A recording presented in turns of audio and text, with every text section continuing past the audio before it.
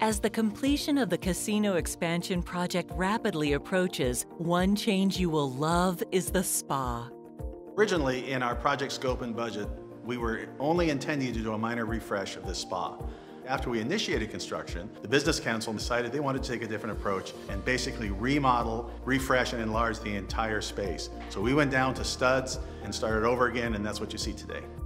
The spa has about 50% more floor area, 50% more treatment rooms, including different types of treatment rooms such as wet and dry treatments and couples treatments. There's also a beautiful new spa pool and deck exclusively devoted to spa patrons. The opening to the spa is much more of an entry statement. It's a very welcoming, open, contemporary look, and then coming into this lobby space gives you a lot more room than the previous spa.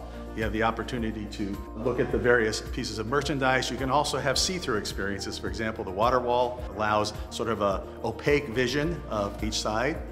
The project's architectural firm, DeLuhy, has significant experience designing spas, and it shows with the various enhanced amenities throughout the spa.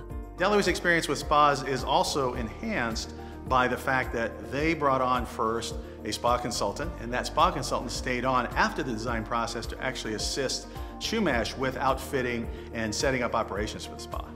The new spa will soon be a reality when the casino expansion project is completed in a few short weeks. The entire team is very proud of the spa, not only in terms of the end product, but also the process by which we were able to deliver it on time, on budget, and really enhance the overall Chumash casino expansion.